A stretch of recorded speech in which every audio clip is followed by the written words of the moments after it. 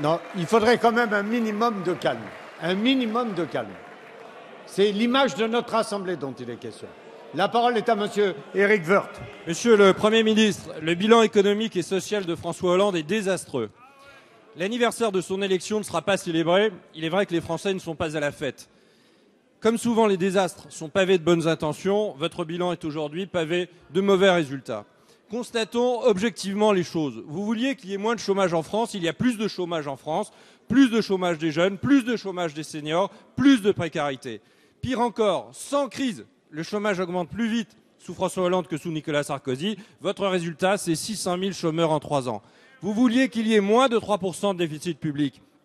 Le compteur des déficits est bloqué à 4%. Ils ont seulement baissé d'un peu plus d'un point en trois ans, trois fois moins vite qu'en sortie de crise entre 2009 et 2011. Vous vouliez plus de croissance. Vous avez réussi l'exploit d'éteindre durablement la croissance en France en prenant des décisions massives d'augmentation d'impôts, asphyxiant le pouvoir d'achat des ménages et l'investissement des entreprises. Vous vouliez plus de simplicité et vous avez créé l'usine à gaz de la pénibilité.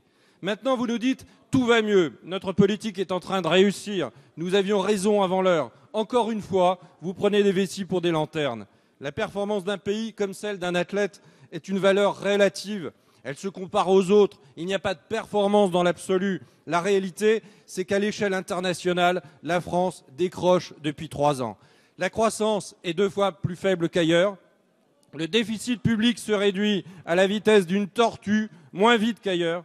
Quand la plupart de nos partenaires créent de l'emploi, nous continuons mois après mois à créer du chômage. Voilà la situation. Alors bien sûr, les astres nous sont euh, favorables. Le pétrole, les taux d'intérêt, la BCE, tout concourt à relancer la France et l'Europe, mais ces facteurs externes ne nous servent à rien sans les réformes internes que vous avez courageusement choisi de ne pas faire.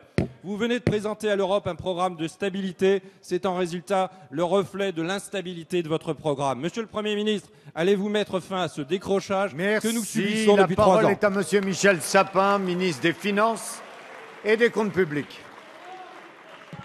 Merci, Monsieur le Président, Mesdames, Messieurs les députés. Monsieur le, député Woerth, je devrais dire Monsieur le ministre Woerth, vous avez été trois ans ministre, un petit peu plus de trois ans, de 2007 à 2010. Trois ans, comme trois ans que vous voulez aujourd'hui saluer par cette diatribe exagérée. Pendant ces trois ans, la croissance a diminué. Le PIB de la France a diminué, a chuté. Là où vous nous demandez des augmentations de croissance. Pendant ces trois ans, le chômage est passé de 8% à 9,4%. Allez, on se 600 calme, 000 s'il vous chômeurs de plus. Pendant ces trois ans, le déficit a explosé, passant de 2,7% à 7,1%.